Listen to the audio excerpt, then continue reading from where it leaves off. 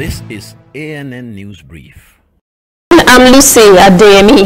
Egypt is revamping its economic activities as the nation eases coronavirus restrictions. Economic activities have begun in Cairo, Egypt's capital city.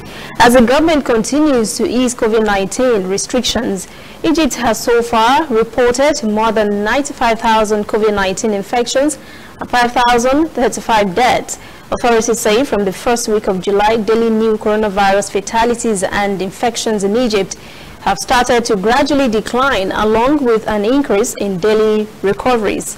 The most populous Arab country resumed international flights in early July after it lifted a partial nighttime curfew imposed since late March.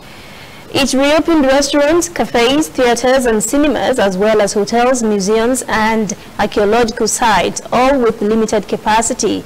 Restaurants and cafes in downtown Cairo are only allowed to receive guests at 50% capacity and the restrictions receive support from residents. The government says easing restrictions is part of a coexistence plan adopted by the government over the past weeks to maintain anti-COVID-19 measures while resuming economic activities. Zimbabwe's President Emmerson Mnangagwa has on Monday called criticism on human rights abuses by his government divisive falsehoods. Mnangagwa says his administration was under renewed attack from domestic and foreign opponents. Human rights groups and lawyers say, say um, Mnangagwa has arrested and abducted and tortured so many activists in street demonstrations in late July.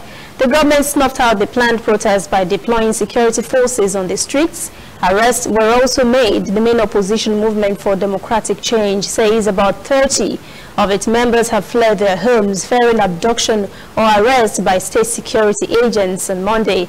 Mnangagwa, during a Heroes Day speech in Harare, said the allegations were unjustified attacks by whom he called perennial detractors both inside and outside the border. Mnangagwa replaced Robert Mugabe after a 2017 coup with hopes that Mnangagwa would unite a polarized uh, country and revive a striking economy. Following the uh, Mugabe era, and um, Mnangagwa accuses the West of funding the opposition to destabilize Zimbabwe. We'll be right back. Whether in your house, at your office, on your phone or online, we are there. We have the facts behind the headlines. We cut to the chase with the news you really need. We cover every angle. We are the bigger, better news network. We are African News Network. ANN. Watch ANN News on MITV from a truly African spirit.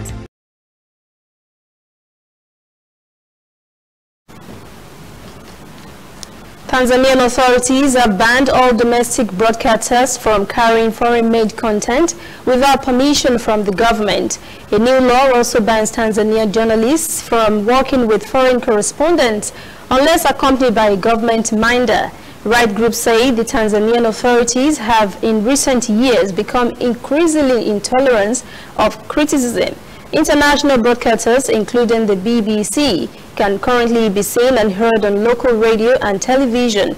Publications have been banned and journalists imprisoned. Correspondents say with uh, elections due in October, the new regulations will raise further questions about the state of democracy and free speech in Tanzania. That is ANN News Brief at 10. For details on these and other breaking stories, visit our website, annafrica.news. Conversation continues on our social media platforms, Twitter, Instagram, and Facebook at ANN Africa TV. I'm Lucy Adeyemi.